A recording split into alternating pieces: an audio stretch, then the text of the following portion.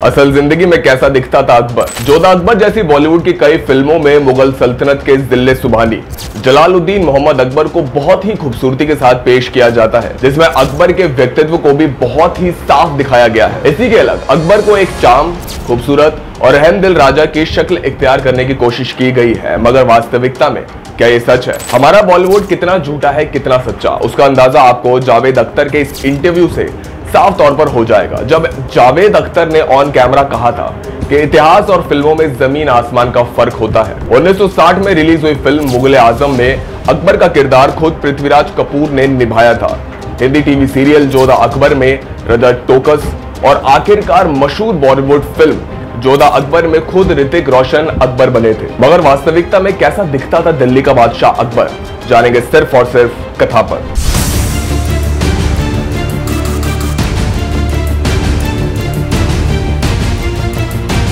नमस्कार आप सभी को दोस्तों, मैं हूँ आपके साथ मिहिर जैन और आज मेरे साथ है cameraman Umar Ansari. Bollywood movies के अनुसार, अकबर एक रहमदिल और खूबसूरत राजा था, जिसने अपनी ज़िंदगी में देशभक्ति, धर्मनिरपेक्षता, उदारता और आज़ादी की एक नहीं बल्कि कई मिसालें पेश करी थी।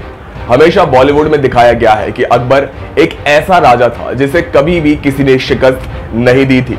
मगर यह बात सरासर गलत है। क्योंकि 1576 में छिड़े हल्दी घाटी युद्ध में अकबर और महाराणा प्रताप की फौज आमने सामने थी, जहाँ अकबर ने आगरा से राणा प्रताप के मुकाबले एक बहुत बड़ा लश्कर मेवाड़ रवाना किया था। बावजूद इसके मुगल सेना कभी भी मेवाड़ के ध्वज को धराशाही नहीं कर पाई। इसके बाद कई इतिहासकारों ने अकबर को एक डरपोक राजा बताया है, जिसमें इतनी हिम्मत तक नहीं थी जो हल्दी घाटी के मैदान जंग में खुद राणा प्रताप के सामने आता। क्योंकि अकबर की ओर से मुगल सेना का नेतृत्व मिर्ज़ा राजा मान सिंह ने किया था। हल्दी घाटी के युद्ध के बारे में अगर आप जानना चाहें तो इस वीडियो पर अपना भरपूर प्यार दें। साथ ही कमेंट करके भी ज़रूर बताएँ।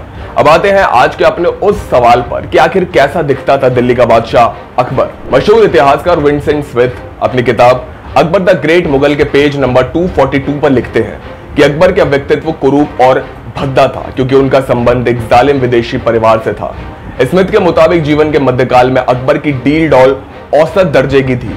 उनका कद तकरीबन पाँच फुट सात इंच था। अकबर चौड़ी छाती, पतली कमर और लंबे बाजू के धनी व्यक्ति थे। उनके दोनों पैर अंदर की ओर झुके हुए थे।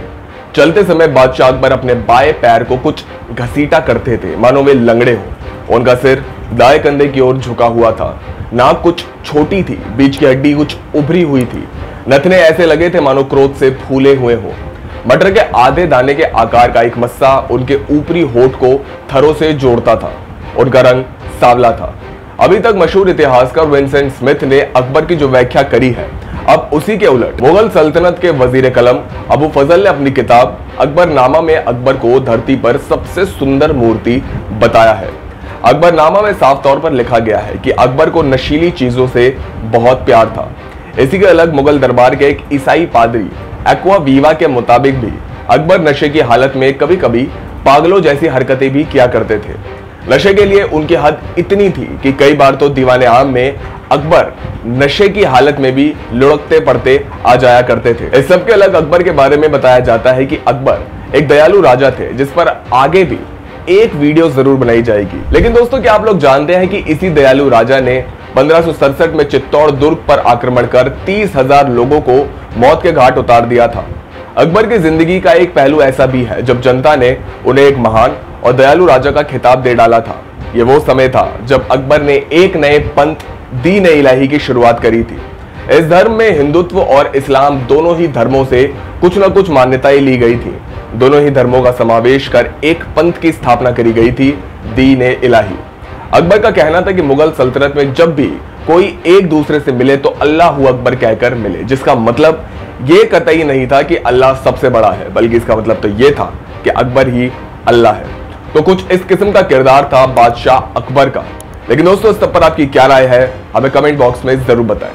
दोस्तों, वीडियो पसंद आई हो तो वीडियो को लाइक करें, शेयर करें, सब्सक्राइब करें, और साथ ही बेल आइकन को भी ज़रूर दबाएँ, ताकि आपको हमारी तमाम वीडियोस के नोटिफिकेशन सबसे पहले मिल सके। कैमरामैन उमर अंसारी के साथ में जैन कथा।